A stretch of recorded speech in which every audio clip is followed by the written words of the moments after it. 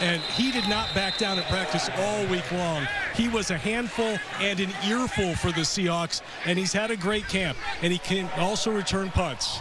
Yeah, no doubt about it, as we see the call go against the Tennessee Titans that cost him five yards. Exact same thing we saw in the first possession. Yeah, so it was 37 to third and 12. It was Ojukwu on the right side. Was that Geron Christian on the left side this time? I believe at left tackle. Jaelyn Duncan. Jaelyn Duncan, excuse yeah. me. Jaelyn Duncan, the second-year player out of Maryland. But Corey's right about these receivers. And Mason Kinsey, he didn't back down at all against Seattle. Talked a little trash while he was out there making plays. Willis in trouble, has to fire that one toward Westbrook-Ikhine. So they missed the connection on the wide open Westbrook-Ikhine. Then they have the five-yard penalty. Pressure gets to him there, and the punt team coming out. Someone better think about blocking this guy right here, number 53, Boye Mafe. Really good play. Look how relentless he is. And then look at him gain ground and close. Good job by Malik Willis sensing who he, sensing him being there and getting rid of the football to no harm. Ty Zentner out for his second punt of the night.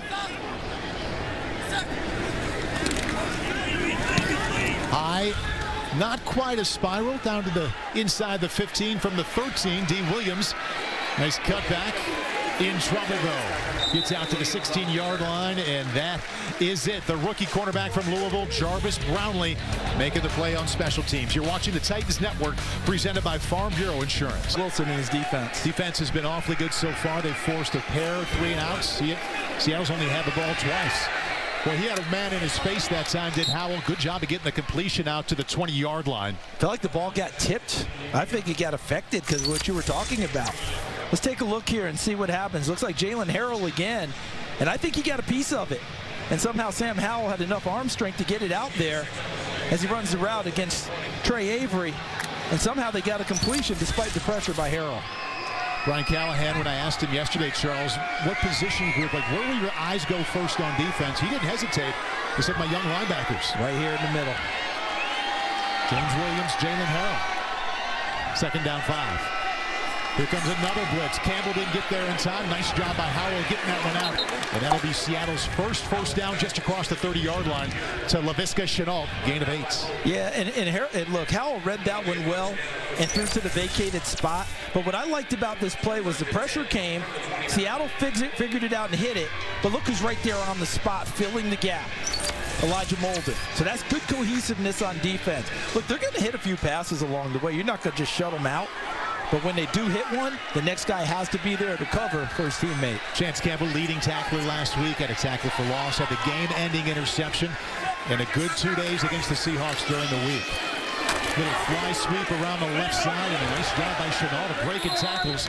But the Titans were there to keep that to a short gain out to the 33. Gain about four or five. Elijah Molden was there first. And I thought they did a good job with the defensive front. Corey Curtis, I know Marlon Davidson isn't playing tonight, but this defensive front's done a nice job in camp, haven't they?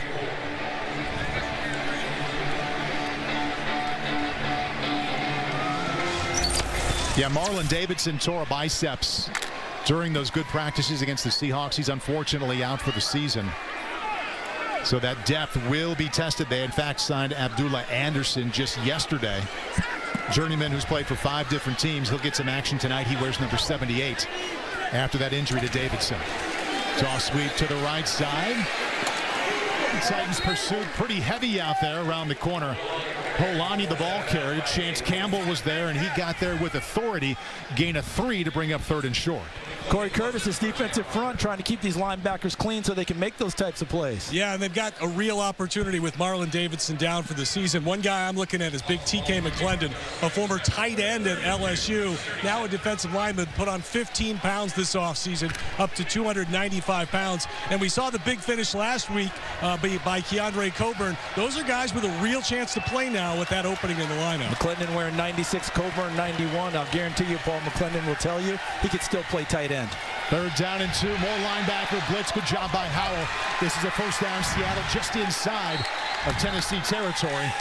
Evaded the blitz and found A.J. Barner. Rookie out of Michigan, one of the many good players coming out in the draft from Ann Arbor. He got 16. Yeah, pretty sure that Dennard Wilson, the defensive coordinator, and then, of course, Frank Bush, the linebackers coach, what they will say in the meeting after that play, hey, if we're going to send you to get you home, you got to finish it off. You can't miss him in the pocket like that because that creates those types of plays, and they gave up a first down. So Seattle didn't pick up a single first down, Charles, in their first two drives. That was their second on this. Now they set up shop inside of Tennessee territory. First down and 10. Right up the middle, they find success against that depleted defensive line. That's the third first down on this drive. This time down to the 33 after a gain of 13. And this was something that Dennard Wilson talked about with, with us, Paul, that he wanted to help clean up from last week. What he calls leaky yardage. Everything was blocked up so well on that play by Seattle that the ball carrier wasn't pressed until he got to the third level, until he got to the secondary. That's not something you want to see. You need your defensive front to at least slow him down, and he started to make a play on him by the second level where the linebackers are. Elijah Molden, the safety, made the stop. Fourth-year player out of Washington. And they try it again. This time more success as they bounce it out to the left. And they get inside the 25-yard line, just enough for another first down. Kenny McIntosh on back-to-back -back runs, basically between the tackles, gets double-digit gains. That one got him 11. Paul, I thought the defensive front did a nice job initially because they stacked it up. But good eyes by McIntosh to see that the gap was on the left side when it was supposed to be blocked to the right. He took his eyes left, and the backside uh, deep defender not up on the line of scrimmage and allowed McIntosh access to the secondary. No score yet here in Tennessee. Second preseason game for the Seahawks and the Titans.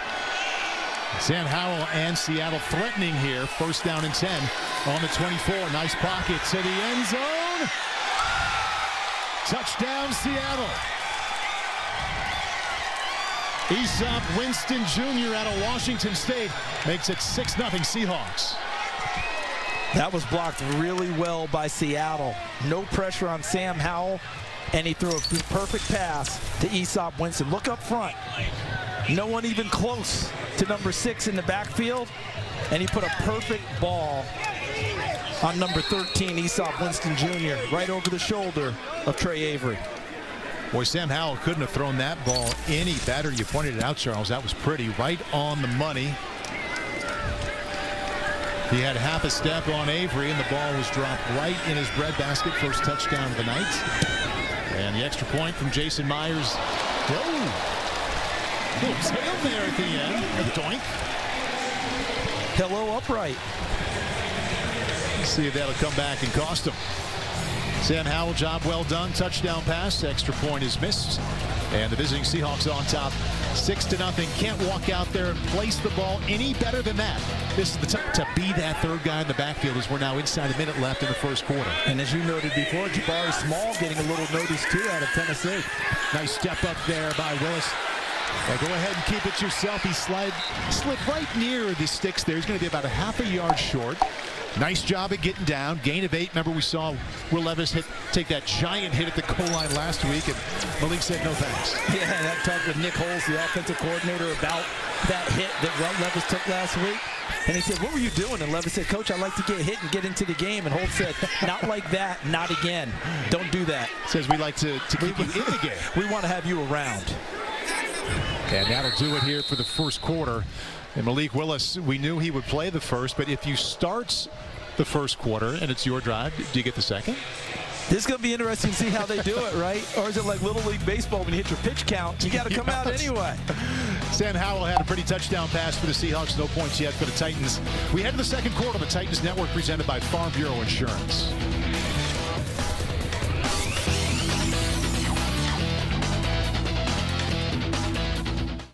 That talent. Yeah, and remember, it all started with seeing him the first time at OTAs. He said he almost pulled out the tape from then, from that time frame, to show Malik Willis how far he's progressed in terms of footwork and ball placement since that time.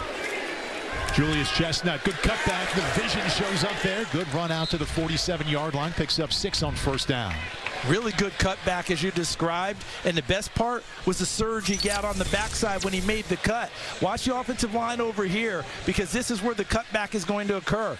Starts to the right. Good job taking him down in there. That's Lachavious Simmons, number 73.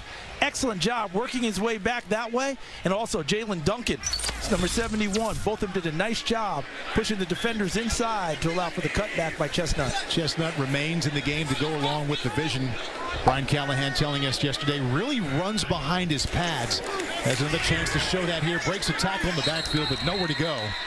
And no gain to bring up third down and five. And this, Charles, should be another chance for Malik Willis to show up with the passing game. A little extracurriculars there. These teams got after each other on Wednesday and Thursday. It carries over into Saturday evening. But Malik Willis had some good moments in that first quarter. Did miss an open receiver. And this is a big play for him on third down and four. These are the plays that make you a big-time quarterback in the NFL. Third down is where you make your reputation, where your team starts to believe in you.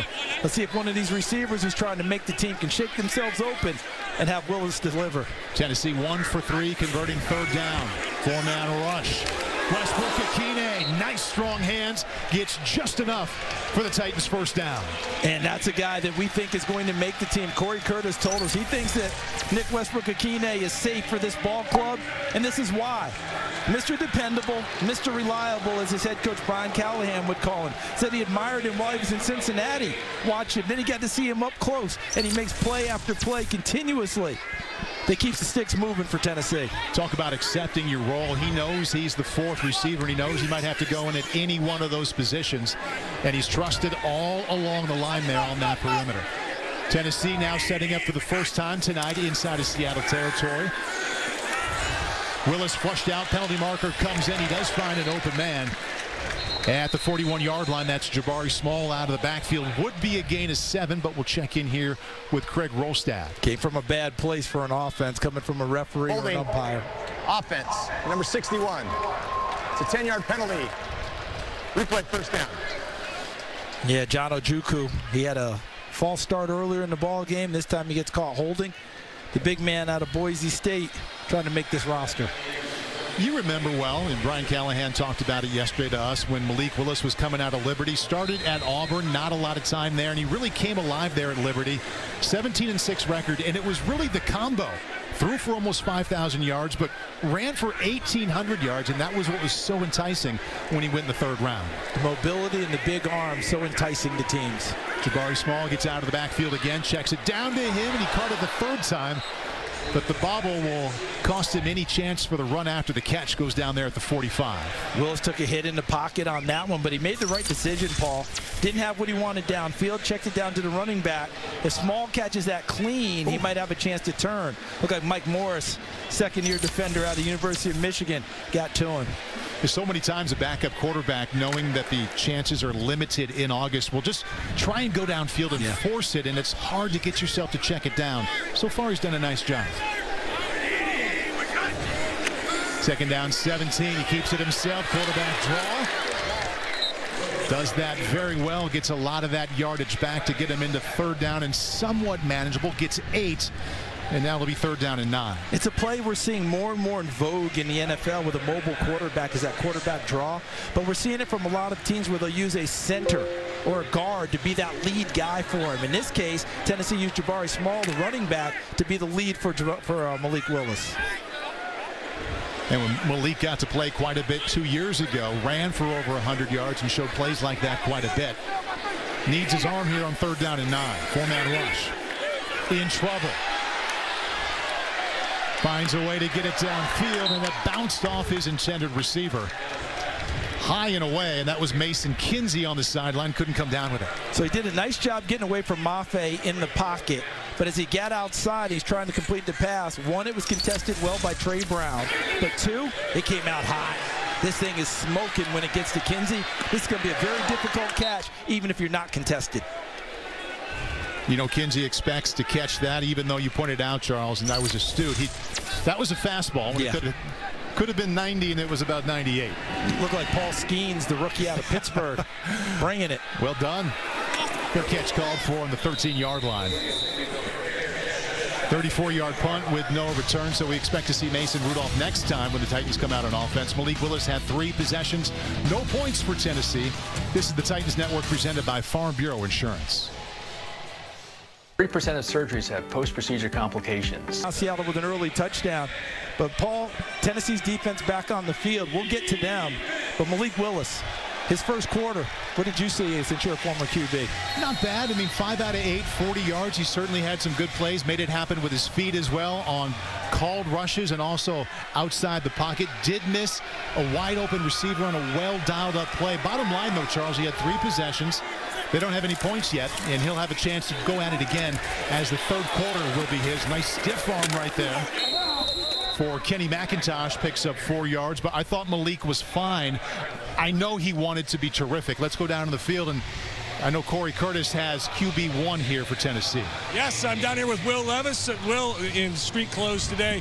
You know, it's, it's quite an opportunity for you this year, and I would imagine it's an exciting one when the when the head coach says he wants to take you up to a 70% in completion percentage. No, I mean he's got high standards for all of us, and we wouldn't want to have it any other way. I know that I've got it in me. I just got to come to work every day, uh, looking to get better and keep leading these guys. These past few weeks of camp have been an awesome opportunity for that, and I feel like we've all taken advantage of it. So 70%, that's a really good number to look forward to, and hopefully we can get it done. Big key to that, I think you said, was doing the boring stuff. 100%. Yeah, no, it's uh, not getting bored doing the boring thing. I've said it a few times, and I'll continue to say it. Uh, I think that uh, that's been a big learning process for me throughout camp is understanding how this offense works and how the playbook works and how certain throws can open up more for you uh, down the road. So, uh, you know, taking what they give you and not being bored, taking the, the boring throw. Playing quarterback in the NFL can be a harrowing job. Uh, awfully big for you to have Bill Callahan hired, J.C. Latham drafted, Lloyd Cushenberry brought in. They invested heavily to protect you. 100%. No, it's really cool seeing the investments that the team's made uh, on both sides of the ball, and it means that they got some confidence in me, which you know I gotta uh, take that every day with me to work and work even harder for them. So we've got, we've got a bunch of great guys in the locker room. I feel like we have already started to, to gel and to understand that we got a special group. So uh, you know, hats off to the organization for putting together a really good group of, group of guys. I, I, can't have you here without asking you about Will Levis, number eight. Yeah. Uh, for those of you not in the Nashville market, you may not know that uh, Hellmann's and Will teamed up on an ad campaign this week, releasing a cologne, which actually you can buy, and the money goes to youth villages and Special Olympics. 100%, yeah, really, really cool uh, opportunity for us to not only have some fun, but also, you know, make sure that it goes towards a good cause. So shout out to Special Olympics and Youth Villages Foster Care, and uh, yeah, just bringing laughs to people, bringing joy, and uh, making them smell good too. Just check it out. It's sold out. Is there anything available? I think we're going to continue to do some drops. I don't know what the uh, stock looks like, but hopefully everyone that wants them can get their hands on it. All right, that's Will Levis, Thank number eight, and he has promised us, Paul, it smells great. It yes, does. it really does. Give it a try for sure. I mean, Corey, there's nothing like eau de mayo. and I have I have read where teammates have said, surprising to them, they like the smell. So off we go. Will Levis trying to capitalize, hoping now his defense can get going and get involved here and slow down the Seattle offense. Yeah, this is back-to-back -back drives after they went three and out on back-to-back. -back. They had touchdown. Now Howell back to work once again. Now that ball was put on the ground. I think they're going to rule it a catch and a fumble out of bounds. Yes, so a, a non-traditional way of getting a first down, but the Seahawks passing offense continues to click. Yeah, it's a proper call, too, because the catch is made downfield. And that's a tough one now, Paul. Did yeah. he come down with control and able to make a football move? I think during the regular season, Tennessee would want that to have, you know, somebody take a good look at that one. I think they are now. There we go. I'm not sure that he was able to come down and make that extra action. Looks to me like this may come back and be incomplete. That was number 38 for the Seattle Seahawks, Brady Russell from Colorado, unable to really secure it. Uh, this review is sponsored by Hughes and Coleman. Tennessee is challenging the ruling on the field of a completed pass. This review is sponsored by Hughes and Coleman, the official injury lawyers of the Titans. If you've been injured, call 800-800-4600 to schedule your free consultation with the team who has called Tennessee and Kentucky home for over three decades. They're taking a look to see if this was a catch or not.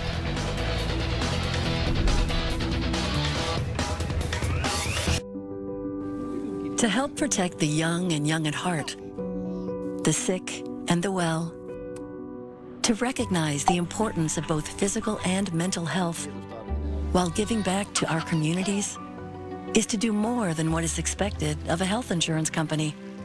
It is calling you a member, but treating you like a neighbor. It's been my pleasure. It is making a commitment to be right here for you and keeping it.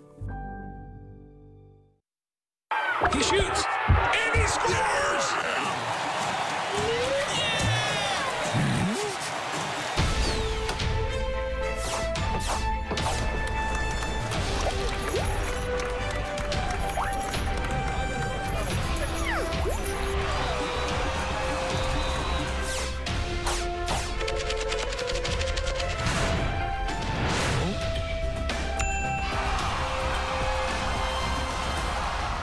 Attention parents of premature babies. If your baby was born prematurely and given formula in the hospital and has since developed NEC, we want to help. Call us at 615-242-9000. There was a time when we welcomed change, when we bounded through piles of golden leaves and relished the chill in the air. There was a time when we embraced new flavors, took new paths, and made new friends. When masterpieces opened our minds and transformed our hearts.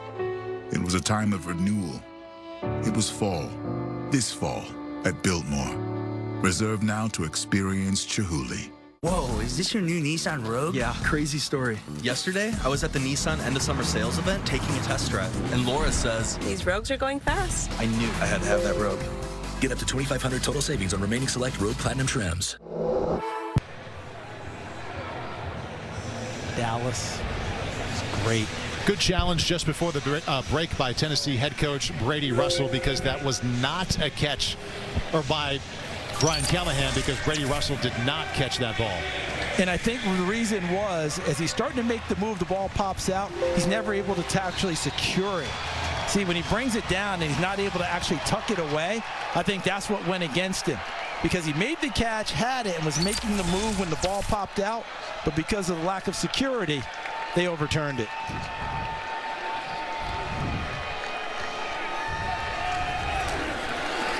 Sam Howell stays hot inside the 20-yard line. He's hit seven of his last eight passes.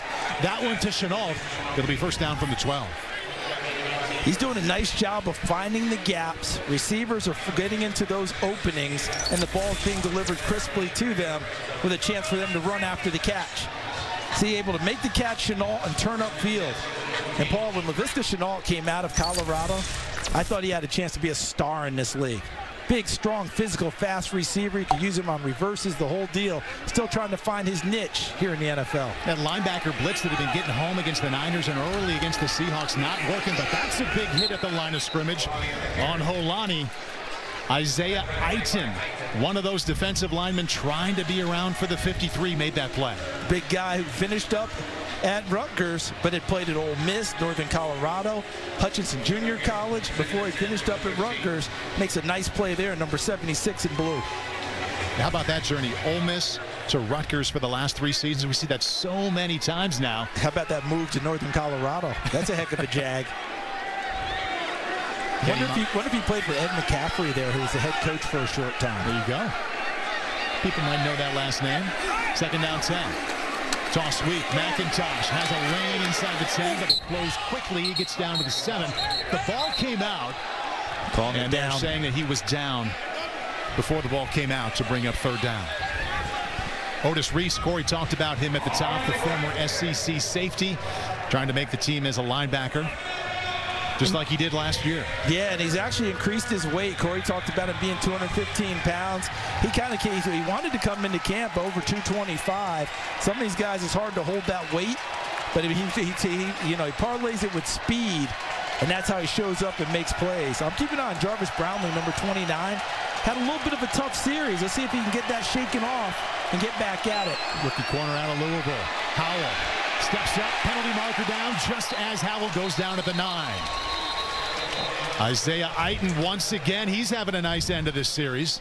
Yeah, he's he's we'll checking on the flag. Starting to stack some plays together, isn't he? Looks like offensive uh, face mask. Might have been one of the offensive linemen getting underneath a defender Russian quarterback.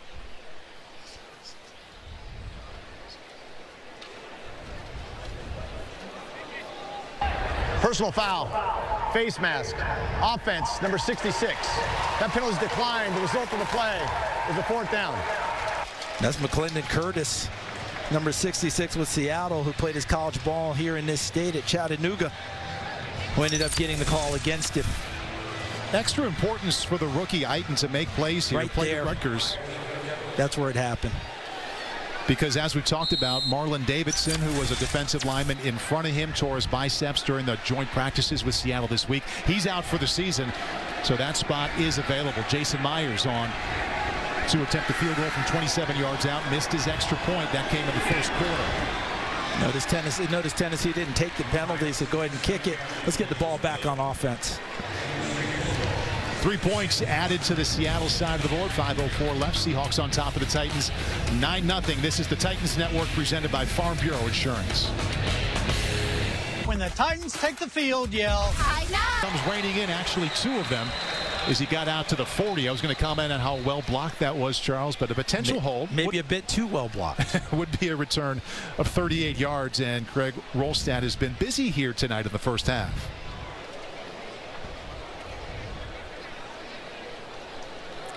One thing about Jackson, he sees it, he goes. He doesn't hesitate. During the return, holding receiving team number 52. Yep. That's a 10-yard penalty from the spot of the foul. First down, Tennessee. Rookie seventh round linebacker out of Miami, James Williams there. Making the conversion from safety his entire time at the University of Miami. First time he played linebacker, Paul, was in the run up to the draft when he played it at the Senior Bowl. They like his aggressiveness because he was a monster-sized safety while playing for the Hurricanes. As planned, Malik Willis got the first quarter and then a little bit more. Mason Rudolph playing in the second quarters and the fourth. Brian Callahan telling us yesterday he does have the edge in this race. He would be the second quarterback.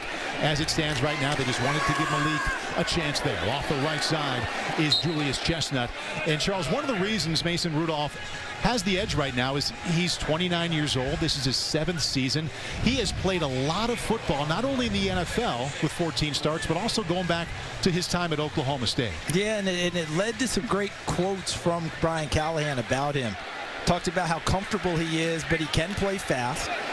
He loves the fact that he's still open to being coached on footwork and timing. He doesn't think he has it all as a veteran. And he has some gamer in him showed that in Pittsburgh with how he finished down the stretch. Brian Callahan told us he has separated himself as the best runner after Spears and Pollard. Your wide receivers are involved in the blocking as well. Corey Curtis, hang tough. I want to get to you after this play, sir. Chestnut battling Hassan Haskins to be that next back after Spears and Pollard. Another hesitation move. This time he just gets out to the 50 for a gain of one. And Corey, come on in. Corey, I want you to talk to us a little bit about this running back situation. Paul teed it up early in the ball game. This third running back is becoming very intriguing for the Titans, isn't it? Yeah, it's becoming a little more challenging because Hassan Haskins isn't just a good special teams player. He, he might be a core four special teams player, but Julius Chestnut has such great balance, and he's a big back, and you, and you saw him there. He's able to change speeds a little bit. And the thing I love about him, he's the ultimate team player. This is a guy who had a chance to transfer from Sacred Heart and make some money, but want to stay with his team. He's a good dude. And while we're talking running backs, another one creeps in there. Well done by Jabari Small. Undrafted rookie free agent out of Tennessee. That's enough for a Titans first down. And he also has serious thoughts of making this team. Yeah, he kind of went tears for fears on us for all you fans of 80s music. Don't you forget about me. Look at him right there, post right up, and the ball right there when he turns around. Does a nice job of enveloping it and then getting upfield for a little bit of additional yardage. Another guy who is similar to what Corey described with, with Julius Chestnut. Team first. Anything you need from me, I can do it. Always dependable and ready to go is Jabari Small. Small again. Well, he was at high speed right away, absorbs a hit there as he gets out to the 32-yard line. And Charles, he's somebody who's used to success on this field. Almost ran for 200 yards at Tennessee when he played on this field in the Music City Bowl. Yeah, he really got after it in that one. And look at him going to go fast now. Nick Holz, offensive coordinator. Brian Callahan, play caller, changing the tempo and increasing it for Tennessee. Not quite going to get that play off with a two-minute warning. For the first time, the Tennessee Titans offense is clicking. It's actually the second time they've been inside of Seahawks territory. We'll see if they get points here on the Titans Network presented by Farm Bureau Insurance depending on what the coverage is. If the quarterback sees it one way and the receiver sees it another, oftentimes the beneficiary, the guys on defense. Tennessee fortunate there. Tennessee converting two out of five times on third down here. One time Malik Willis got it on a well-designed and executed. Goes for yeah. it here. All three timeouts left. Fourth down in less than a yard coming up. 137, 136 and counting. Now, it'd be interesting to see what they go with because in game one, Will Levis scored a touchdown on a sneak on short yardage. Here in this game, Malik Willis got a first down on short yardage on a sneak. Is that in Mason Rudolph's game? Is that something that they want to do right now? Are they're going to call timeout and, and chat about it. Brian Callahan telling us yesterday with his quarterback Mason Rudolph in there. We talked about the experience he has with 41 starts at Oklahoma State, 14 starts in the league. I said, where does that experience show up? And he said, at the line of scrimmage, because every time he gets there, I can tell he has a plan. Yeah, yeah, and he's not altered by what he sees. He's not confused by different things that show up. He'll read something pre-snap, and if it rotates into something else post-snap, he has an answer for that as well. Paul, his first start at Oklahoma State as a freshman came against Baylor, who I think was in the top 10 at the time, maybe even the top five. Late in the season because they ran out of quarterbacks. They wanted to redshirt him. They took the red shirt off of him week 10, week 11. He played in that game and then beat Oklahoma the very next week. He's not phased by much. See what he has here on fourth and less than a yard. That's Julius Chestnut behind him. Quarterback sneak. See, he wanted to go off the right side. Looks like he got just enough. Yes, he did to keep that drive rolling. And that was the start of something, Charles, because he ended up as not only the all-time winningest quarterback at Oklahoma State, but also the all-time leading passer. He, and, and Paul, that sneak emphasize what you just talked about. He has a plan. There you go. Because he didn't just get behind the center and hope that there was a hole. He hesitated to count, saw the gap, and then he went. Nice pocket over the middle. Kinsey, first down, Tennessee to the 15, and he's not done. Three Seahawks bring him down. First down to the quarterback sneak, then on the dart over the middle. Clock stops in the timeout, 42 seconds left. I like what you talked about because look at the pocket. That's the first thing you said. Yeah, he got pressured late, but he had already made the decision and delivered a strike to Mason Kinsey. Overall, I think Bill Callahan, offensive line coach, will like that pocket for him.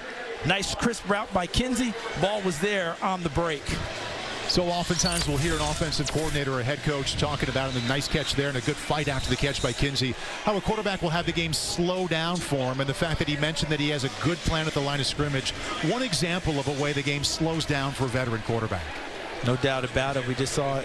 Full display right there with Mason Rudolph. Empty backfield this time. Three pass catchers to his left, pair to his right. Tennessee still with one timeout left.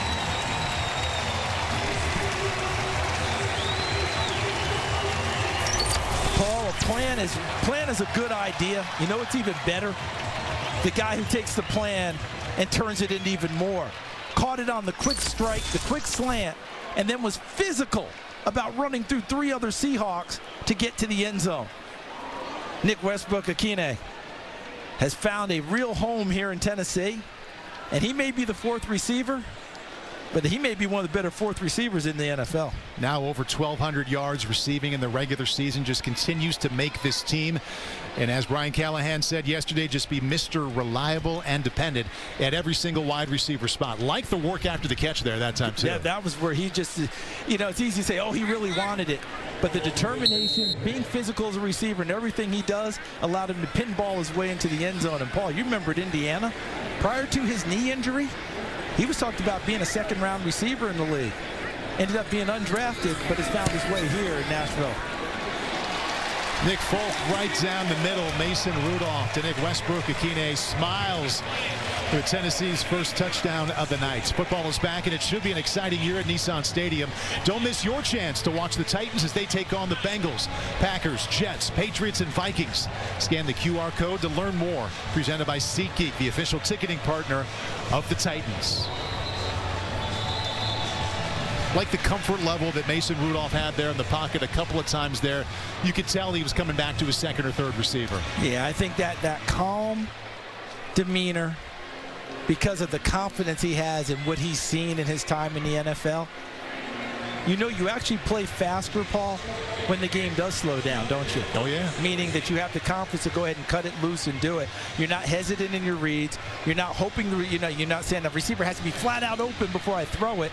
He's throwing it with anticipation and pace. Looking like a guy who started the last three regular season games and won them as his team. The Steelers needed to have them to get into the postseason. They'll always love him in the Steel City for yeah. that because he, he, he jockeyed them into the playoffs last year down the stretch. Before they lost there in the first first round there at Buffalo from the goal line. This is Young. Hops out, keeps his feet out to the 27-yard line. Seattle has three timeouts left, 33 seconds remaining on the clock, and now they lead by two. It's been Sam Howell the entire way, the third-year quarterback out of North Carolina. Spent his first two seasons with Washington. In fact, started every game there last year. And Sam jogs out again. He had a stretch there, Charles. First quarter into the second where he hit six consecutive throws, including a touchdown pass. And I would imagine they'll cut him loose here. Yeah, and it wasn't just the starts last year, Paul. How many times did he throw the football? I mean, an incredible amount of yardage on a team that was pretty average overall. And he took a lot of sacks in doing so. Titans bring four. Howell far sideline. Off the fingertips inside of Titans territory. Tre Avery with the coverage. He was the one that was on the wrong side of the touchdown pass. So good to see him bounce back. Clock stops 28 seconds until halftime. Nice job by Avery understanding where he was on the field and using the sideline as an assisting defender for him. Press him into the sideline. Yeah, go up and catch it if you want to. No room for you to come down in bounds. Good body positioning by Avery. One of those undrafted free agents a couple of years ago who just sticks around. This is his third camp with the Titans. Second and 10 now, 28 seconds left. Fake the draw. Flushed out to his right. He could keep it himself. He does so and gets out of bounds just as he crossed the 30-yard line. Clock stops right now with 20 seconds left. Five-yard gain. They do have all three timeouts left.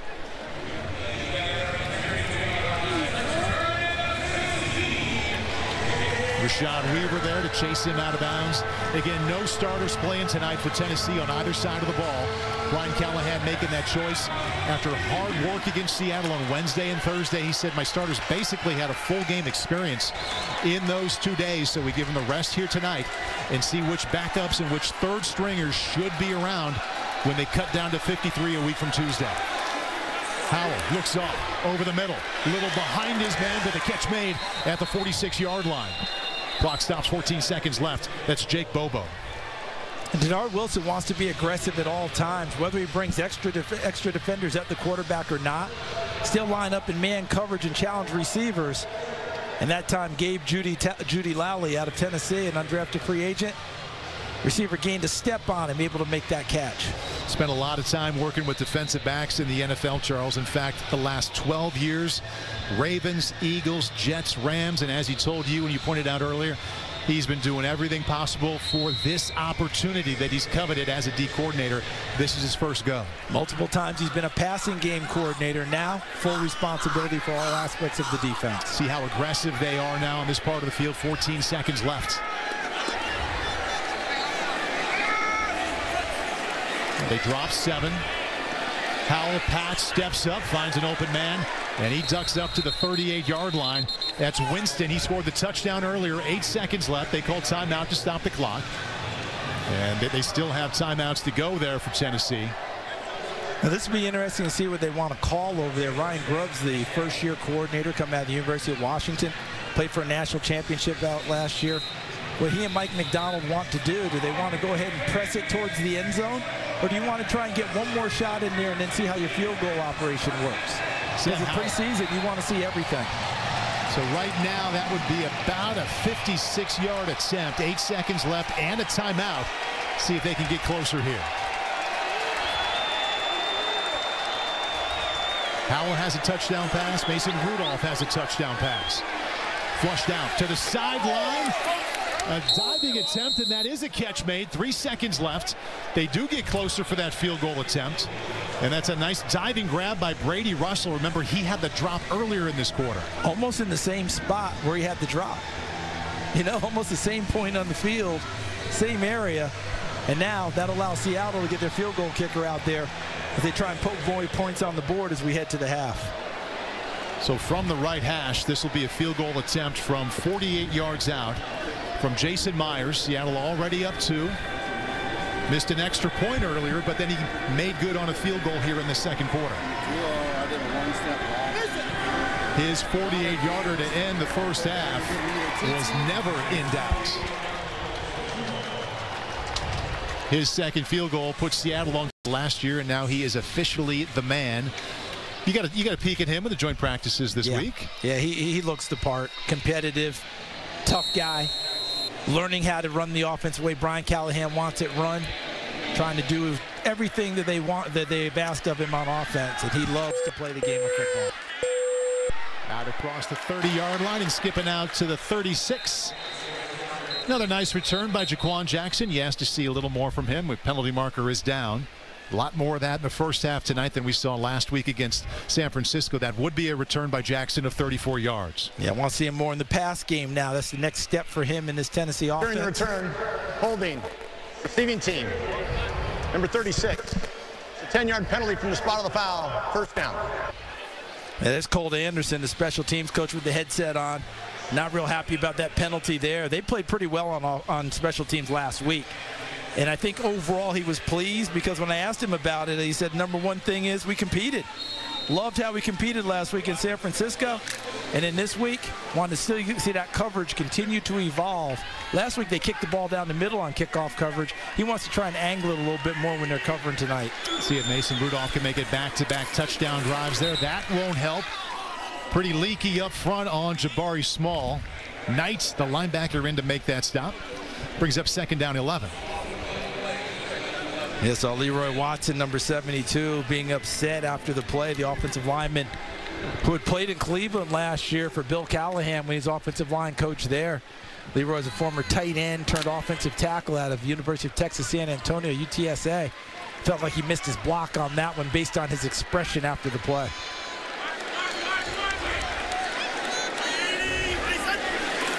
Rudolph. Too high. Missed his intended receiver, and that was number 80, Bryce Oliver. All-time leading touchdown score from the wideout position at Youngstown State. And that'll set up third down 11.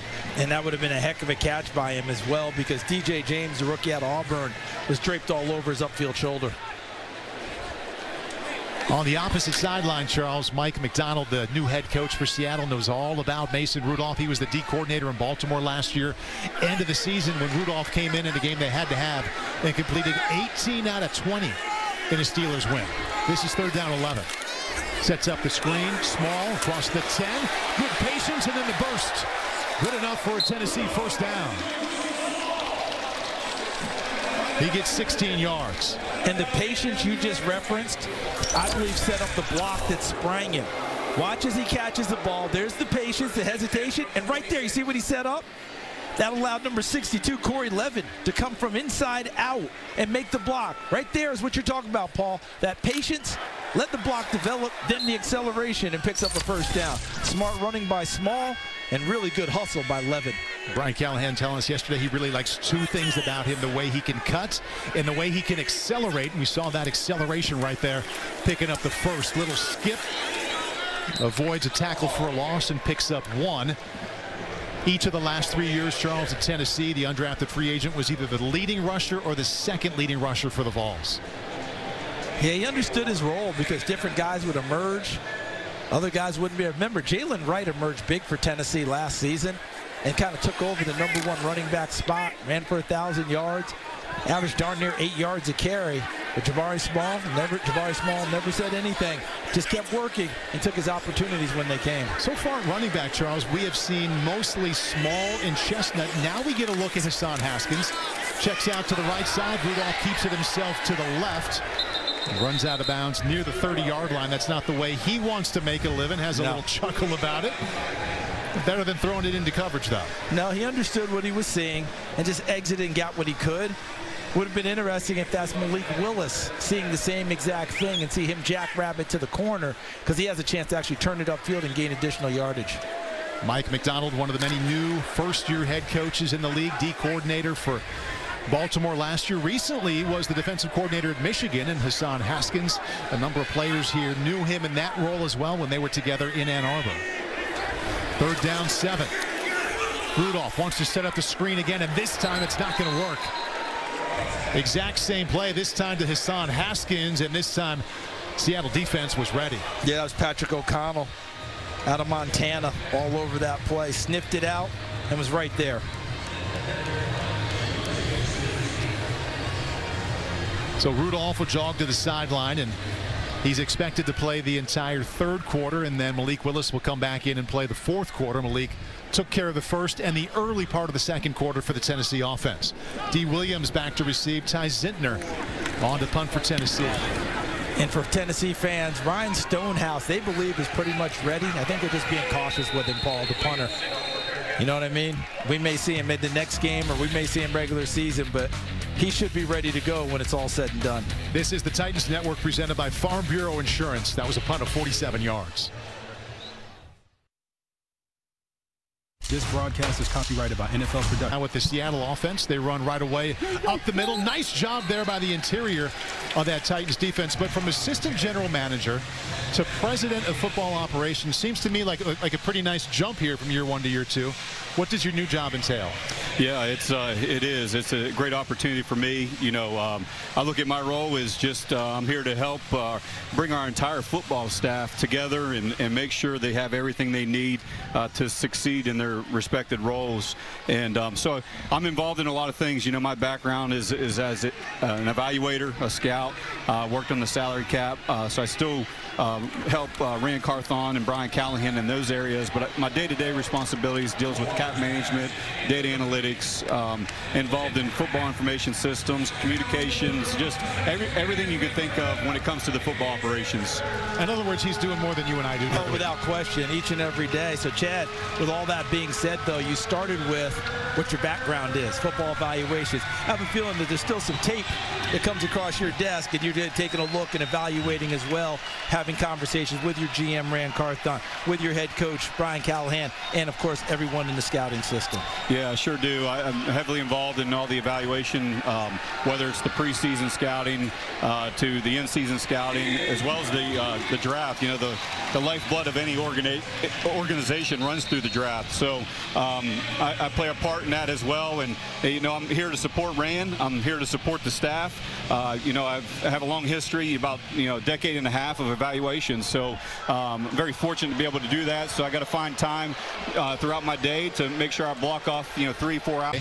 You were very good running back at Ohio. You, you came up through the scouting world in the personnel department. You know that. So you've got this old school part of your background.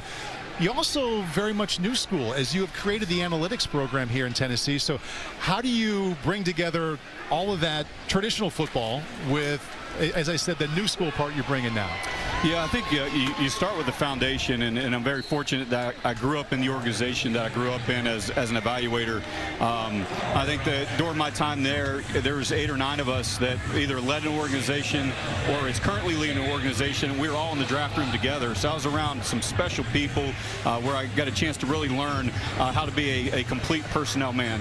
And, uh, you know, when it comes to the, the analytics, you know, um, over the years, I just started to, to look how the game is modernizing, how you can uh, use some of the analytics in your roster building strategies and in-game management, situational football, and just got really intrigued by that and, and started to build that into my toolbox as, as well. So it's it, it's a balance, but it all starts with the experiential intuition. I mean, we can't forget that, um, you know, forget the, the, collective wisdom of the coaches and the scouts. You know, that's an important part of this. So there's instinct involved. There's pattern rec recognition involved. Um, so that's the foundation of what we do. But if you can add the exploratory analytics to it or the historical and what history tells us, plus the predictive tools, and maybe as we move forward, you'll see some AI really up, popping up here in the National Football League moving forward. Uh, when you add those three things together, uh, you're hoping to make better decisions. But at the end of the day, the human makes the decision. We can't forget that. And meanwhile, Chance Campbell continues to show up here at linebacker for the Titans. Uh, that tackle he made there brings up third down and seven. We'll see what P.J. Walker can do here. The Titans have been showing a lot of linebacker blitz under new defensive coordinator Dennard Wilson, and I believe that a timeout is called, yes, by Seattle so we can turn our heads away from the play here a little bit and get back to the conversation, Charles. Yeah, and you know, as we as we continue to talk about these things, you mentioned all the things that you're responsible for, all the things that you oversee. Building relationships with the people who are running those different departments. That has to be a big part of what you do because I don't care what we're in. No you doubt. mentioned the human element. Relationships yeah. drive everything, don't they? Yeah, I, I, look at my position as a position of ultimate service. I'm here to, to service uh, our head coach, our general manager, and every single department head. You know, we're, we're about creating leaders within our organization, empowering people to do their jobs. And my job is to help lift them up, give them the tools that they need to succeed in their roles. And it, I really look at it that way. That's what true leadership is, is service to others. Take a look here on third down and seven allow you to catch your breath here for a moment. Empty backfield. Right now he's looking at it. That evaluator is coming out in about the different guys that are out there. Who's going to make that play and have a chance to make this team? Titans bring four. Walker steps up into a pocket and down he goes. Titans defensive line stepping up there when they had to have it on third and pass. And that's one of the rookies, Harrell, out of Michigan. They had two linebackers taken in the seventh round. And he's in the backfield right there to make the play in a loss of five. Yeah, Chad, and listen, him coming from right there, what'd you see as an evaluator?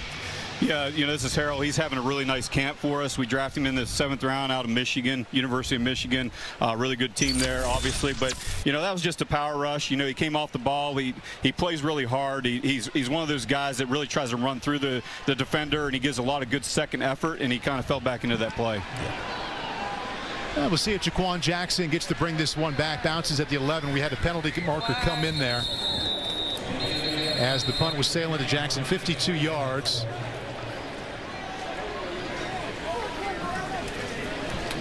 So, Chad, I hope it's okay because we're going to go to yeah. break right now. Yeah. All right. Is it okay if you stay one more? Oh yeah, absolutely. because Love a couple more things. Because Paul, there's also something in his background that I'm not going to say right now. I think I know where you're going. But I think we definitely yeah. need to bring out for people. Yeah. And we'll do that after okay. we, after we get done here. That's a All tease. Right. Can't wait. tease for Chad as well. And let's see if we are going to break. That may have been. Uh, they, they may tease us with that as well. Yeah, they may want to keep it rolling. Penalty on Seattle. It'll be fourth down. So it looks like we're going to have to do this again. There we go. Well, listen, this isn't the dynamic kickoff, Chad. But what are you what are you thinking so far from what you've seen from the new dynamic kickoff that's been introduced? And I don't know if any of us have any idea of how it's going to play in the regular season because you know special teams coaches. They're not going to tip their hand now, are they? No, they're not. You know, I think we're all going through a learning experience here in the preseason, trying to figure out what's going to work, how to play this play. Um, and, you know, it's, it's going to be exciting. That's what the NFL wants. They, there was way too many touchbacks over the years, and they want to put the uh, kickoff return back into pro football, and I think it's going to bring some excitement uh, to, to our game again. In the Super Bowl, there were 13 kickoffs. Yeah. Zero were returned. Mm. You were an undrafted free agent to camp once, weren't you? Uh, yeah, I was, yeah, yeah, in 2003 with the New York Jets. So I, I, totally understand what these guys are going through. were you out there in special teams a lot in situations like this? Yeah, I did. You know, I did kick returns, uh, punt returns, and you know, as a gunner uh, on the, on the punt team, ran down on the kickoff coverage, and um, you know that was that was the way you you got to make the team in the National Football League right. as an undrafted free agent. Jaquan Jackson was drafted late. I thought he might turn up field there. Makes it out to the 24-yard line. 57-yard punt, 13-yard return. Charles and I will be back with the president of football operations of the Titans, Chad Brinker, and the Titans with the ball right after this. You've always wanted to make a difference in the world. Ran Carthon as they run the ball right up the middle, not much there. Let's take it a level or two or three above to controlling owner Amy Adams Let's Strunk. take it to the ultimate as, level. As, as high as we can possibly get as you're talking to the head coach and general manager, what about your relationship and dialogue with the owner? Yeah, vision, yeah. vision for this franchise. Yeah, you know, when when we at the beginning of this structure, I sat down with Amy Adams Strunk and, and just listened to her articulate what was ultimately her vision for this football team as well as this organization. And she really talked about three things. There's three things that I gained from that conversation with her, and that was she wanted clarity in her structure of the organization. Uh, she wanted consistency in performance, and she wanted stability in the organization.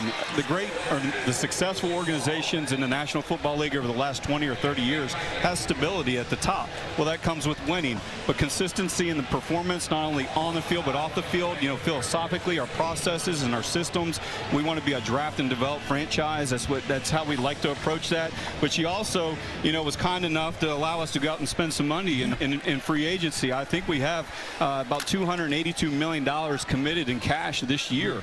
Um, so she's really supported that. And then, and then ultimately the, the structure that she created here to allow Ran Carthon to do what he really do, does well, and that's evaluate, you know, build a team, build a roster, work with the coaching staff and the players, and then and Brian Callahan can focus on the product on the field and, and um, you know, just focus on his coaches and, and allow him to do what he does best, and then I can come in and support the group. Third down and 13. That was a very nice pass from Willis to undrafted free agent out of Northern Iowa, Sam Schnee, the former running back at Dubuque Senior High School. I know that because that's my old conference. That's your old conference. question. Yes. Hey, hey, Paul, you used to put the boots in Dubuque, though, didn't you? Oh, yeah. Okay, there Every we go. That's we what we, that's what we needed to know. Chad, appreciate all of that. And I think that Miss Amy would also be thrilled to know, and she probably already does, that if something happens to the great Coach Dave McGinnis, who is the color analyst for your radio broadcast, Oh, no. with Mike Keith, who is the, one of the best in the business, if not the best, that she has a backup radio analyst. You used to do that at Ohio University, your school. You called games for them over multiple years. I'm going to let you and Paul take the rest Oh, of this no. series. You're going to sit down over there? And, and off, and off we go. I'll be right over ago. here. I'll be right over here with a big gulp. You guys right. go ahead. What do you Go ahead. remember about that? Hey, I, you know, I was with the Ohio Sports Network, and you know, being a, a, a former player there at Ohio University, they had me come in and do some color. I, I promise you, I wasn't any good. I only lasted No. two years, and I moved on. We know better than that. Go ahead. Go ahead and have some fun here, Paul. There you Call go. this game. So we just saw Malik Willis put it right on Sam Schnee. Second down two from the 43. Yeah, Maybe they give it to a personnel. running back. There we go. There we go. Haskins off the right side, made a cut upfield. And see, this is what happens. We get I penalty know, we get a right? penalty right, right when we're. I, we need a big play. That, that's what Yeah. we really need right here. Need another one of those deliveries from Willis to Schnee. Personal foul, clipping, offense for 64. It's a 15-yard penalty. Second down. What is your read on the running back situation right now with, with, Yeah. with Haskins and Small and Chestnut? Well, I'll talk about the first two. You know, Tony Pollard and, and Tyjae Spears. I mean, I think we got two dynamic backs. We're Yeah. really excited to add Tony Pollard uh, to to our team, and he's been excellent. Pass pro, catching the ball out of the backfield, you know, running the football, and then Tajay brings another element to it. But we have a, a battle for the third spot right now between all these backs. You know, Chestnut's having a nice night tonight. You know, Haskins, you got Small. I mean, it's it's a it's a battle there at the at the third spot. See if they can chip away at it here with a run game. Back to the pass. Willis, nice pocket. Well, that's about perfect right on Bryce Oliver at the 48-yard line. And Willis much better here in the second half than he was in the first. so that is actually Jaquan Jackson, the rookie for a gain of 23. Yeah, it was, good to see that, you know, that we've been playing behind the sticks all night, and it was good to, you know, kind of come out here with this drive and get some momentum, get some things going, and we just ran, you know, uh, vertical. It was a nice, nice timing by Malik. He, he delivered it right over top the linebackers and between the safeties for a first down. And you had to had to like the end of it. Carlton Johnson gives him a big pop in the back. Ball stays in possession. Jaquan Jackson. No doubt, you, you got to hang on the football in this league. And what an opportunity that Malik has earned here tonight with the way he has developed and progressed in learning the Brian Callahan system and really had a strong couple of months. And once again, penalty marker comes in from the back judge. Yeah, it's been real impressive, you know, just watching the, uh, you know, Coach Callahan and this offense, it, the, the operation, the rhythm and timing. I think our quarterback, Will Levis, looks, uh, he- he's getting better every single day with his footwork and his timing and getting the ball out and knowing where to go with the football. And you saw the development. Uh, Mason Rudolph's had a really nice camp, and then Malik continues to get better. And this time the penalty goes against Seattle, so Tennessee will continue to move further and further downfield. And we get a defensive holding penalty, Chad, as you well know. It's not always in the secondary. That one appeared to be up front. And why do they get those defensive holds? Yeah, they try to keep them off the linebackers. Yeah, those defensive linemen grabbing guys so Yep. they can't get up to the next level and block. And they were detected there by the back judge. I would imagine Malik Willis as well. He saw Mason Rudolph take the team down with his very first drive for the touchdown. He's motivated here. We've got a little fire lit under him here as we approach the four-minute mark of the third quarter. Back to the ground game. Not much off the right side as they get down to the 42-yard line. Yeah, one one thing that we haven't really hit is is the other Callahan, Bill. Yeah. You know, Bill Callahan. I mean, arguably the the the best coach, offensive line coach in the National Football League. You know, he came in when he came into our building. He did a, I mean, he put on a clinic. It was like one hour of teaching uh, offensive line blocking uh, to our scouts and, and our staff. And I learned more in that one hour than I might have learned in, in a decade uh, from Bill Callahan. He has his strike system. He has a, he knows exactly what he wants. And, and our young offensive linemen are continuing to improve and, and get better. So we're real excited to have him. Yeah, it was interesting to meet Chad. Oh, from the backside as he was making the move. A nice rush there by Seattle coming after him from the backside there. That's a tough one trying to get out of the way. That was Jamie Sheriff out of USA, which University of South Alabama in Mobile. See, he's got his back turned to it, and by the time he turns around, No it's chance. right there in his face. Yeah, it was a good call by the defense. Uh, they wanted to get the ball to the talented undrafted rookie free agent David Martin Robinson, who they're very high on, as you know very well. Hasn't had much of a chance here tonight. And that gets him to third down and 16. Now Malik did convert him third down and long to Schnee. just a little bit ago. Pair of wideouts to his right and to his left. Watch out from the backside. Gets away. And a nice job of making something out of nothing. It'll give him something to think about. Another flag came in there at the end of the play. And it's a Again, holding against Seattle. It's going to go against Seattle again. So they're going to keep moving the ball downfield and picking things up. As you're watching this as an organization, Mm-hmm. do you also have a vision now as you're watching this?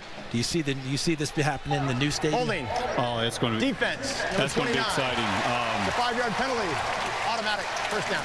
there, there's a lot of excitement right now in Nashville. It's one of the hottest cities in, in, in, in the country. A lot of people are moving here. You know, the Titans are on the rise. We're excited about what we got going on here and with the new stadium on the horizon. I mean, it's, it, this is going to be a fun place. It's a destination spot as is. And if we can get this football team moving in the right direction, put a couple drafts uh, uh, behind us and, and a couple free agency periods and continue to build this team to have momentum as we go into that new stadium, this place is going to be rocking. Yeah, Paul, you're a Big Ten guy, played quarterback at Iowa. How's it feel standing next to one of the Northwestern Business School guy? yeah, and, ob- and obviously that's not me. Feeling a little intellectually small. Is that is that what you're saying? Yeah. Don't, don't forget, I went to Tennessee. I wasn't hanging out with those Northwestern guys. Big hit there from the backfield on Jabari Small, another Tennessee guy right there. But that, that new stadium, uh, two more seasons, and, and that's where the Titans will set up shop, right? Yeah, exactly. Yeah, that's that's that's where we'll be. And I I just finished that program that you know within the last five years. So it's not like Oh, it was yeah. So this was you know I, the Green Bay Packers they supported me and and I really wanted to take things to the next level and they supported me to go to that uh, business school. I, I don't know how I got in. I think they felt sorry for me and let me in. I never had a football executive uh, go to Kellogg like that. But, um, Good so- timing and touch there to Jaquan Jackson, and uh, Another another, flag. flag. Uh, Looks that like feels that'll horse against collar. Seattle as well. feels horse collar right there at the end of it. Well, that was pretty. A nice job of stepping up there and delivering.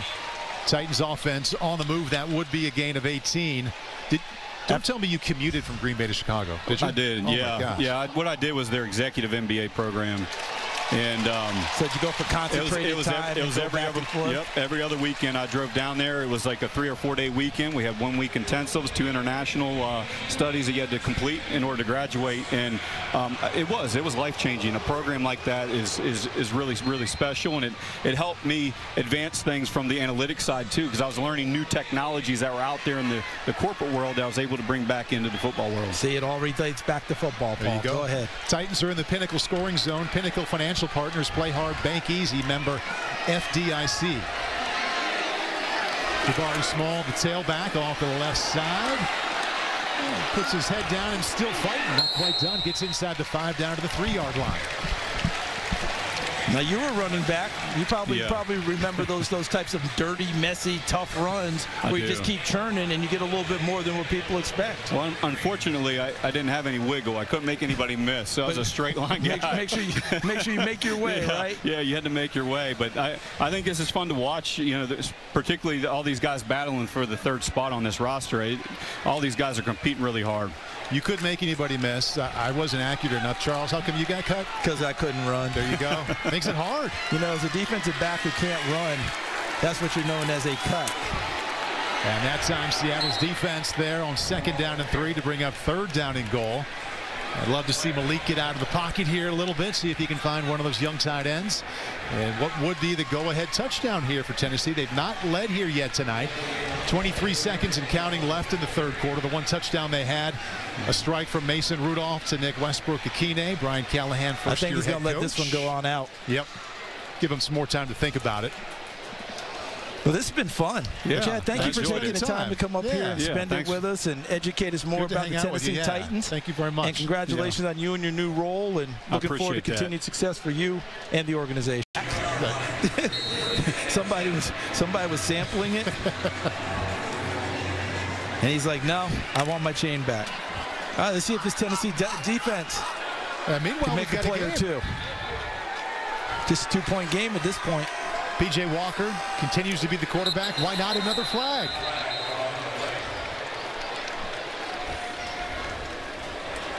False start. Offense, number 85. The five-yard penalty. Still first down. Second year player out of Maryland, the tight end Tyler Mabry. So now we get to see how the defense operates within two points in the fourth quarter. And See which quarterback gets the call to come back out. It was supposed to be Mason Rudolph, but Malik Willis has had it going. And we'll find that out here in just a little bit. First down and 15 now. Play clock down to five. Up the middle, not much there. Not a single starter out there for the Titans offensively or defensively. Done a nice job up front there. McClendon and the rookie Williams, former safety out of Miami, seventh round pick. A lot of defensive rookies selected this year, Charles, because even though they did go offense first round, J.C. Latham, second down 11 here, five of the next six picks were on defense. We've seen a lot of them out here tonight. Yeah, addressing team needs, and they wanted to get younger, faster, aggressive, and I think they accomplished that with some of these draft picks. Double pump going down to catch it on the 38-yard line. He was just guilty of the flag. Mabry now with the catch. Not enough for a first down. Clock continues to tick here early in the fourth quarter. Gain of nine. Brings up third down and two. All right, this is where that defensive front has to step up now and make a play for this defense. See right there, Shyheim Carter trying to make the, trying to be on the coverage. Just got one step outside, maybe worked inside and caught the ball. Let's see if these guys right here can hold down the line of scrimmage and make a play. Seahawks have converted only two out of seven times on third down. This is third and two. Four-man rush. Walker incomplete. Just two out of eight. Chance Campbell, who else in there to make a play in the backfield? And that all worked together very well because they had pressure up the middle. Caleb Farley, number 42, came off the edge and did a nice job. And that allowed Chance Campbell to make a quick read because the ball had to come out fast and almost made another big play tonight. Knocked that one away, and Tennessee should get the ball back. He's mad at himself, but that would have been a tough one to come up with. He did have the game-ending interception last week against San Francisco. Third three and out now for Seattle, their first since the first quarter. Yeah, that's one that if you're Chance Campbell, you got to go to the bench and thank your big guys up front, putting the pressure on, allowing you to make a play. Jaquan Jackson, rookie out of 10, uh, rookie out of Tulane, fair catch at the 18-yard line. Punt of 44 yards with no return. 12:45 left in the game. Titans trail Seattle by two on the Titans Network, presented by Farm Bureau Insurance. It's all on the line. You turn to the strong. First one went pretty well and put a touchdown on the board. Rudolph, as told to us by Brian Callahan, has the lead in the battle to be the backup quarterback. Trying to hit Sam Schnee. Ball knocked away at the 25-yard line. He almost came up with it, but it's now second down 10. Paul, he went right into the thorniest part of the field, didn't Man, he? yeah. Right into the middle, right where the linebackers were. Art Pappy Lewis was the head coach at West Virginia University back in the day, and Sam Huff was his all-time great player, middle linebacker in the Pro Football Hall of Fame. Okay. Hall of Fame. He called that area of the field the hmm. Briar Patch. you better be careful going to the Briar Patch, fellas. Sam Schnee over a thousand yards receiving last year in the Missouri Valley at Northern Iowa to lead that conference. Second down 10. Ball batted down. He wanted to get it to Oliver, another undrafted free agent. And just like that, Mason Rudolph will face third down and 10. Mike Morris batted that ball down. Yeah, Morris there. Myles Adams out of Rice, number 95, was also looking to try and assist on it. See right there? Boom. Two big guys with long reaches. Preseason and regular season. Nick Holz, the offensive coordinator, sitting just to our left. He doesn't want third and 10. No. Regular season. Third and 10 to evaluate Yep. Mason, give him these kind of reps. And, and evaluate the other players. There you go. Who can shake themselves free and present themselves as a target for Mason Rudolph on third and 10. See if they can block the blitz. That's Oliver. The catch and the run. Just enough for the first down. Good job with the protection up front. Good decision. Oliver gets the first. And Paul, you know how you used to get your grade sheet when you played? I think he's getting two checks here. Ball up the middle. And the former Michigan linebacker nowhere to go off to the left side. Does have a 1,000 yard season plus in his time in Michigan coming into the league. And there is Nick Holz, the new offensive coordinator, was the passing game coordinator last year for Trevor Lawrence in Jacksonville and now helping call the plays here with Brian Callahan. Goes all the way back to high school with Brian Callahan, high school teammate to De La Salle back in California, Northern California, part of that 151 game streak. And Nick Holz has worked well in the NFL throughout. Decade plus with the Raiders organization before coaching at UNLV and heading to Jacksonville and then Nashville. Here comes a safety blitz quickly out of the hands, and that's the first time we've seen the big tight ends get the ball. They've been trying all night, and that time it is Thomas Odukoya. His first catch, gain of eight. And they're talking about the improvement this young man has made from the day he showed up from the Netherlands, played at Eastern Michigan. He's part of that International Pathways program in the NFL where each team has one international player that doesn't count against your roster, et cetera, et cetera. But now they're talking about him being a legitimate threat to make the team. This is no longer just a good story. This is a guy who's really improved, big time blocker at the point of attack. Now he added a little pass catching on the last play. In competition with David Martin Robinson and also Steven Stilianos, a couple of undrafted rookies trying to beat him out. Rudolph bouncing around, finds an open space. Penalty marker comes in just as Rudolph goes down at the 38-yard line. While he was bouncing, I was watching the coverage, and it was tight downfield.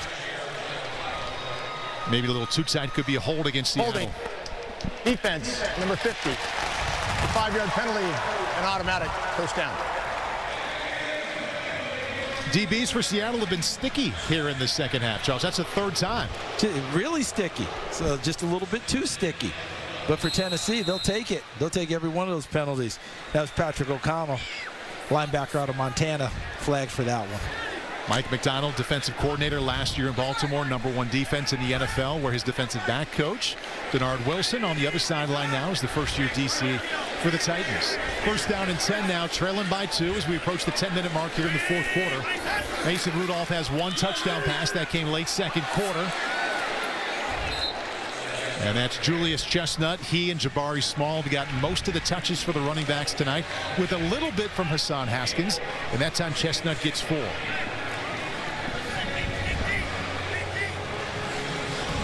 Let's check in with Corey on the sideline. Yeah, guys, it's going to probably be Chestnut and Haskins the rest of the way. Jabari Small has gone inside to be evaluated for concussion. Okay, they only had three running backs playing tonight, Corey. Thank you, with Spears and Pollard sitting it out. So now it's, as you mentioned, it's Chestnut and it's Haskins. Plenty of time that time. A good throw and catch there for another first down. And a good job of staying on his feet by Jaquan Jackson. The rookie out of Tulane. Strong hands and a good move after the catch. Paul, you know what I loved about this play from Jaquan Jackson? Watch how he runs the route. Now, when he stops, he can wait for the football, but that's often recipe for disaster. Yeah. Watch how he came back at the point of attack, right? At the catch point, and snatched it out of the air so the defensive back couldn't make a play on it. That's a veteran route right there by Jaquan Jackson. And that's exactly what Brian Callahan said. He looks less and less like a rookie all the time. Come back to the ball. Good coaching point. And now to the running game. Hassan Haskins batters it up inside. That's a positive gain on first down. Picks it up between four and five. Tennessee is not led tonight, trailing by two. They're now within field goal range, and they're thinking touchdown here. Hassan Haskins in this race to be the third back. He is the one who has established himself as the best special teams player for Brian Callahan. Julius Chestnut, as Callahan told us, is the better runner. And a couple more flags come in. I think Tennessee thought that they moved right Seattle Ball start. moved to get it. Offense, number 76. It's a five-yard penalty. Still second down. Jaquan Jackson, the rookie draft pick for Brian Callahan. A couple of grabs here in the second half. That one just now, a couple of plays ago, was nice for a first down. And the fact that they are even considering maybe six or seven wide receivers on the roster, as Brian Callahan said, well, it's a conversation now, is a huge compliment to that group. It certainly is, as is the idea that maybe there's a fourth tight end. Yeah. It's another conversation I'm not sure they expected to have when camp began. Rudolph, that shoulder fade and put it right where he wanted to. Mason Kinsey wanted the flag. He also wanted to catch that ball. Yeah, he's looking for the flag, but I know exactly what Tyke Tolbert, the wide receiver coach, is going to tell him. You know what it is, Paul? Catch it. Play through it. Yeah. Okay, you got to play through it. Don't don't look for it later. Make your move, be physical, and go catch the football. Mason Kinsey, fifth. Does make that catch. Exactly. 10th play of this drive. They're 5 out of 12, converting third downs as Rudolph looks right now at third down and 9. Four-man rush. Rudolph in trouble and ripped down. And again, Penalty flag is down. This time in the general area of holding against the offense. Yeah, Mike Morris makes the play there for the Seahawks. Would be a loss of three. Holding. Offense. Number 76. That penalty's declined. The result of the play is fourth down. Tough series for Andrew Rupcich. Two penalties. Who's that kid in, ba in Baltimore? that that one, Justin Tucker? Justin yeah. Tucker. Normally you're saying Justin Tucker's got this one, but here we go. Come on. Brayden Narveson. With room to spare. You got to smile at that one. Now, Paul, he kicked a 57-yarder at Duke last year for North Carolina State. He was like, Coach, I got this one. Colt Anderson, put me in, McBride. I got it. Out of North Carolina State having a moment here. He's the one that just put Tennessee on top 13 to 12 from distance. That was from 59 yards out. Yeah. And he had some room to spare. And Paul, he was at Iowa State and locally here at Western Kentucky before finishing at North Carolina State. D. Williams from the three. Not, not much space there. Run out of bounds on the left side. So let's go back to pregame. Back when it was 98 degrees. We're checking in with Brayden Narveson. Ball nothing after what he hit in pregame, ball. And he had he had a few extra.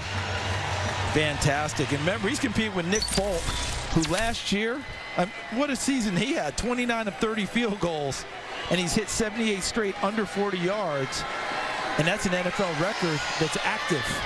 So Narveson has a hefty competition in front of him, but he's doing all he can to get noticed. First time tonight, Charles, we can say Tennessee on top, 13-12.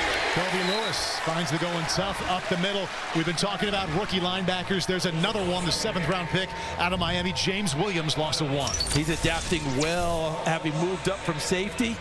Sees it very well. No one there to block him. Closes quickly on the running back and puts him on the ground. That's number four. The U.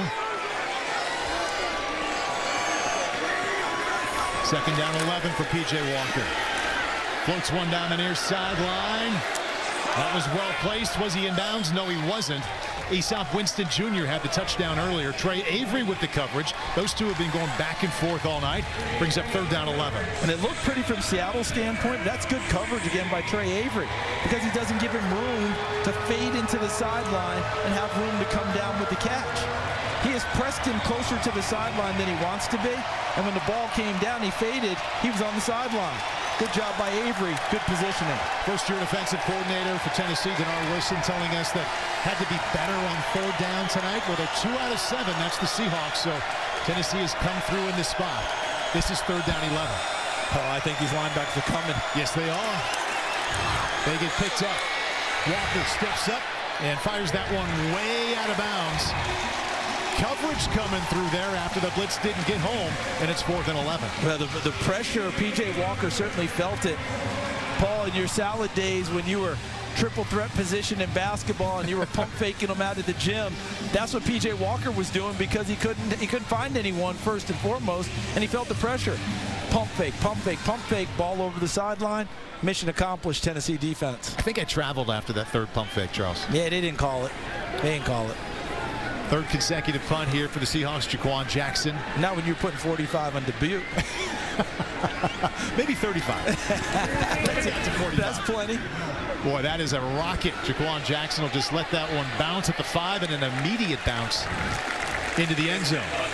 Inside of seven minutes left. Tennessee leads Seattle 13 to 12 after a punt of 71 yards. This is the Titans Network presented by Farm Bureau Insurance. Can you prove what we've seen in training camp when the lights are brightest, when there you're you playing other people? And Jaylen Harrell's doing it. Brian Callahan telling us he was looking at the young linebackers, James Williams and Jaylen Harrell, and they've both shown up a number of times tonight. Good job in the backfield. Some quick feet there by Hassan Haskins. And of the three running backs playing tonight, he's gotten the fewest amount of touches. And look who's in the ball game now playing quarterback. Remember, remember we had said, you know, first and third, right? And now second and fourth. They, so they gave Mason Rudolph another series. And I think you were on target, Paul, because you were wondering the way Malik Willis was operating in the third quarter. Would he just remain out there and continue to ride the hot streak? I feel like Brian Callahan's given another opportunity here to continue to capitalize on his play in the second half. Yeah, throwing it well in the second half, Charles, also averaging over seven yards per carry. And that's a good hold off the left side for Hassan Haskins, and a strong finish with some power. Penalty marker is down in the offensive backfield, but that was a strong run there by Haskins.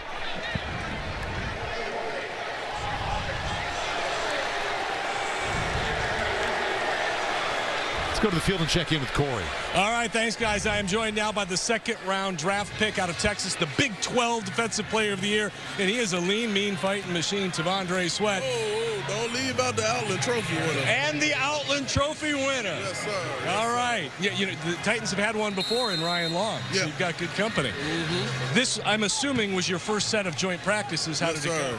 go? It went great. Uh, it was great. Just the competition, the uh, level of competing, and like I said, it was just great. And I had like a great opportunity to go against the one, so I was just excited. You know, we all know what player Big Jeff is. How much have you learned from him this summer? Um, I done learned a lot from Big Jeff, man. I, wow, my bad. Like I say, I learned a lot from Big Jeff. Um, I'm just excited to play next to him. I mean, anybody play next to Big Jeff, you're looking to succeed. You know what I mean? So I'm just ready and happy for the opportunity to play next to him. We talked about your mom some. You, you always say, I'm a mama's boy. I mean, how big of a thrill was it to buy mom a house? Tell me about Um, it was great. I mean, that was one of my biggest plans when I make it to the next level is buy my mom a house, and I can't be more thankful to God and the man she created. You know, my mom, and like I said, I'm a mama's boy. I love her to death, and I love you, mom. Yeah, you look great. I mean, yes, I, am not going to ask you how much you lost, but but you lost something. oh, 100%. And I'm still gonna keep losing. Yes, sir. T'Vondre Sweat, the Outland Trophy winner and Big 12 Defensive Player of the Year. Thank you. Thank you. I like the it. way he pointed Good that out. Don't leave out Outland Trophy. As my old coach Hayden Fry used to say, the late great Hayden Fry. Yes. If you've done it, you ain't- it ain't bragging. No, it's not. It's on the board, right? He carried that home. And believe me, it wasn't stats that won it for him. It was what he did to offenses, created rubble in the middle, mm. and made people go elsewhere to try and get things done. They had the game plan. Him and on the other side of the field, Byron Murphy, who's with Seattle. Think about those two, a defensive tackle on a college football team. And Murphy was a first round pick for Seattle. Yeah. Sweat second round here in Tennessee. When you broke the huddle and saw those two, that inside run game was was null and void. It was over. And there's Tracy Rocker, who's now coaching him in Tennessee, who, by the way, won those awards at right? Auburn. Yeah. And and found a good spot in front of the fan on the sideline as well. He's not. He's not. He's not a rookie. Veteran coach right Not- there. Second stint here in Tennessee. Not his first time on a hot night. I was just glad I was playing defense when we played against uh, that play against Auburn, and he was on the other side. Wasn't me who had to deal with him. A force he was. Malik Willis looking to continue a strong second half. Another flag comes in. David Martin Robinson has that one go off his fingertips and picked off by the Seahawks. Ty Okada comes up with it and celebrates. We'll check in on the penalty marker. That drive Colt Anderson, the special teams coach for Tennessee, crazy because Colt went to Montana, and Okada's a Montana State Illegal guy. hands, hands to the face. Offense, number 72. That penalty's declined. The result of this play is first down, Seattle. Those high throws can get you, Charles. they'll get you because you always get the tip. And defenses work on the tip drill all the time. Something comes off the hands, stays up in the air, and Okada with an extra burst laid out and caught it. Was able to get up and get a few yards on the way back and put Seattle in a good spot out near midfield. Malik watching the interception there on the big board. 329 left. Tennessee clinging to a one-point lead here in the fourth quarter. To help protect the young and young at heart, the sick and the well, to recognize the importance of both physical and mental health, Lead is just one point. Seattle has a couple of timeouts left. Just over three minutes remaining, and PJ Walker starting experience last year in Cleveland. And now trying to be the backup to Geno Smith in Seattle. Kyrie Robinson just across the 40-yard line. Yeah, he's been a starter at a few places there in the NFL. Remember his, his stint in Carolina? Yeah. When he was there, he played for Matt Rhule in college, and Matt plucked him from one of those leagues that tried to get going around the country with a whole lot of alphabet names and the whole deal. And he played in one of them, played awfully well, got his shot there, and now he's trying to make the Seattle team. Third team in three years, Carolina, Cleveland, now Seattle.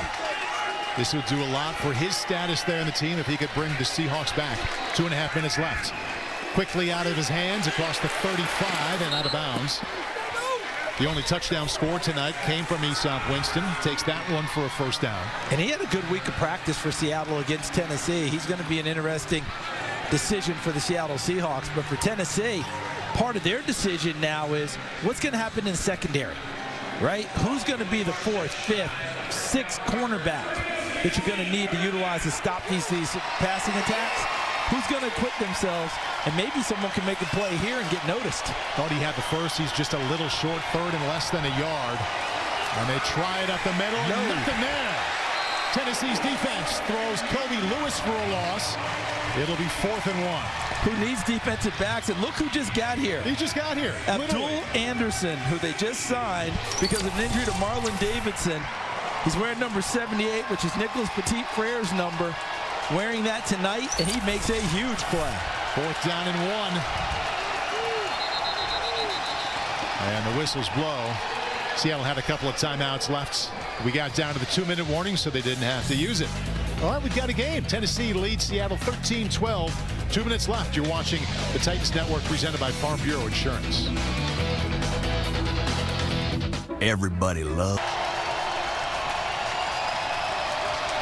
Myers has made two tonight Oh, he just slid that one in. Was waiting for the draw, Charles. It never happened. And he will tell you that's exactly how he played it.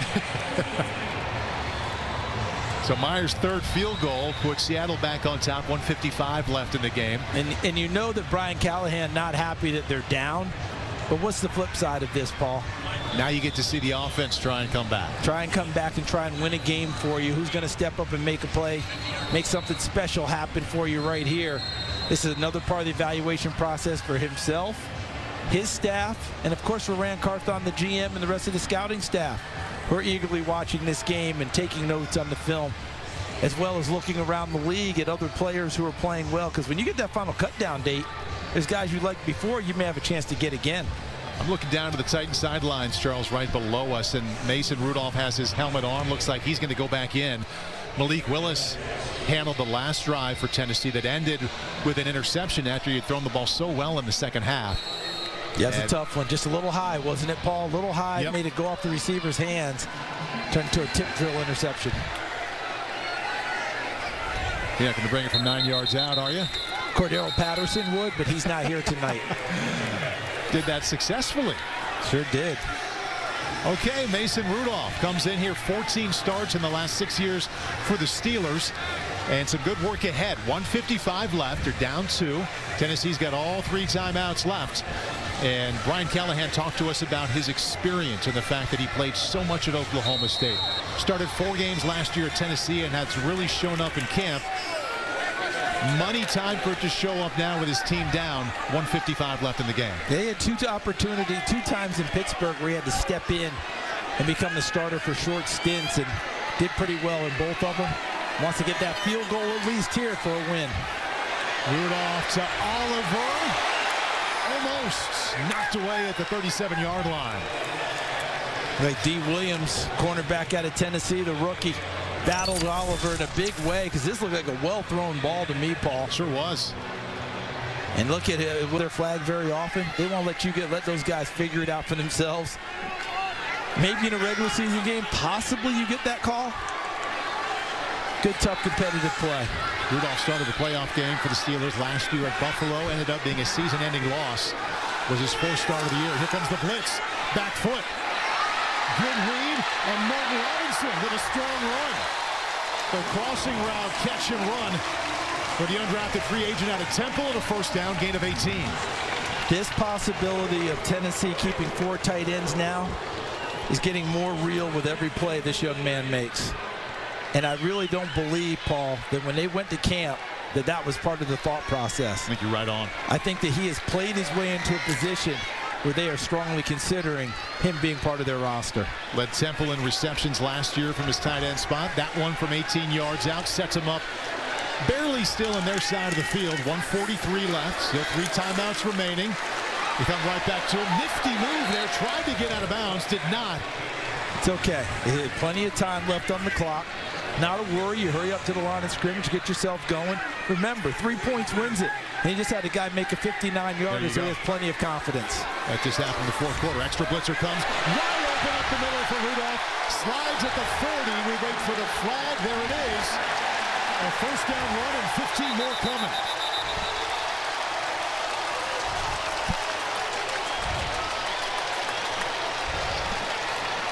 They've got to discuss how late the slide was for the tackler and, and his launch. That's the discussion that you're going to have as a, as a, as a officiating crew.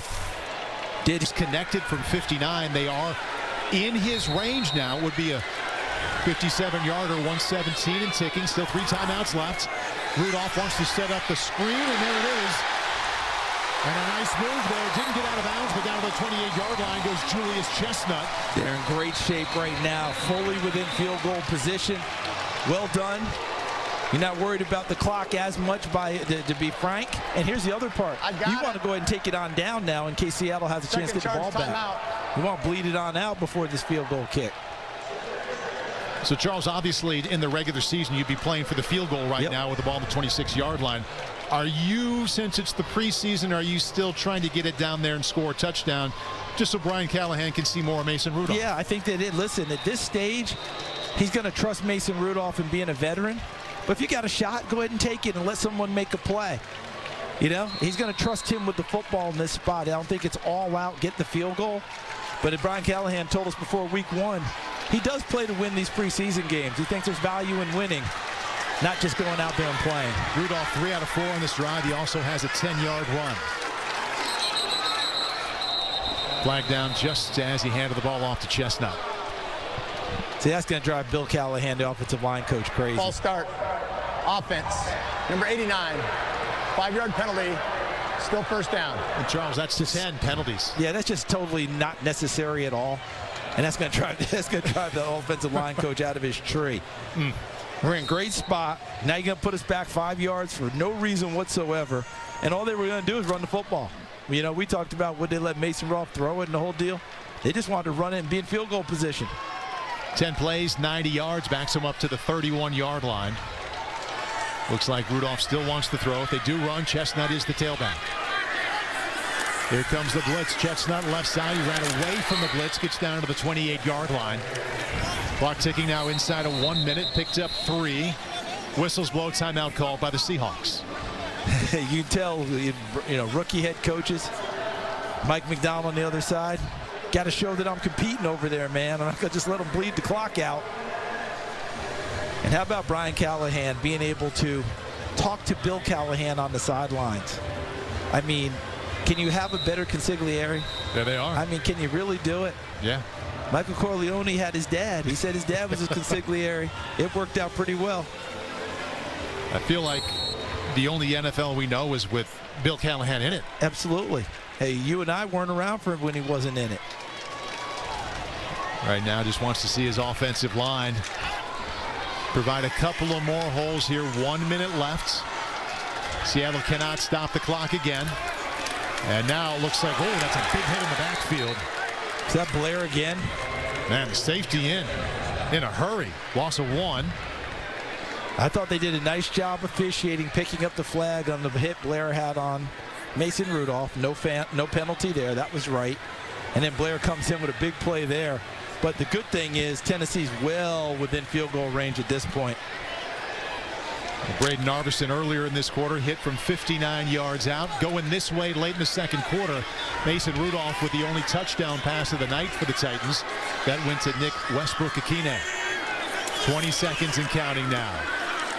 Chestnut, both hands on the ball, gets down to the 28-yard line. It'll be a 45-yarder, potential game-winning 45-yarder for number 47, Brayden Narveson, out of North Carolina State by way of Iowa State. Five seconds left. Four, And now they stop it with three seconds left. Even had a nice little stint not far away in Bowling Green at Western Kentucky, which is considered a local school here in Nashville. Well done by Mason Rudolph there. A couple of Yeah. good runs there. Three out of four passing the ball. And setting up Narveson well within his range now from 45 yards out. Brayden thought he had, he's like, I've already had a great fourth quarter, made one from 40, 59 yards out. And now he has a chance to make the game winner, too. Yeah, it could be a big night for Brayden Narveson. But how about the offense fashioning together that drive? Some big catches along the way, some good runs, some sharp play. And now they have a chance to go home winners if this goes through the post. Will actually be from 46 yards out. Brayden Narveson already with a 59 yarder for the win.